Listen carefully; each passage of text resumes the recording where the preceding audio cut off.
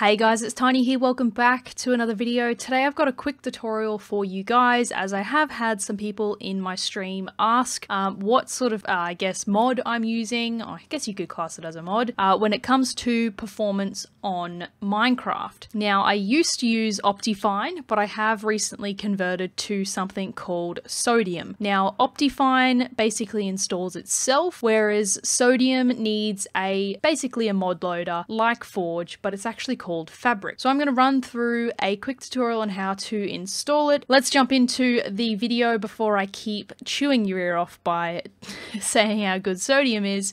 There are three links in the description down below, guys. Make sure you head over and grab Fabric. Now we're going to go ahead and use the Universal Jar installer. So click download on that one, click keep. We're going to head over to the second link, which will be the Fabric API. You will need this, so go ahead and download. Wait for that bad boy to download download, as well as Sodium itself. If you want to have a quick read up on this one as well, do so. It has a bunch of features down here. I guess the only thing I can say right now is that it doesn't have a zoom feature like Optifine, but hopefully they'll add that soon. So I'm going to go ahead and download that one as well, and let's jump over to the desktop. Perfect. So I've got my three downloads here. So before you go ahead and get started, you actually need to boot up Minecraft and make sure that you have run Minecraft in 1.16.3 1.3. So just load it up, 1.16.3, default, no mods, no nothing, load it up and then close out of it. And then what you want to do is go ahead and double click on the Fabric installer, which was the first download that we downloaded. Go ahead and click install, make sure it is on 1.16.3. Boom. Once that one has installed, you need to locate your Minecraft folder. So I've actually pinned my Minecraft folder here, but to go ahead and locate that, all you need to do is head down to the start menu, click run, and then in the box here, just type percent app data percent and hit OK. So this will open up your roaming folder and at the top you should see Minecraft. Then go to the folder that is called mods. Make sure you got your downloads still open. Pick Sodium and the Fabric API and drag those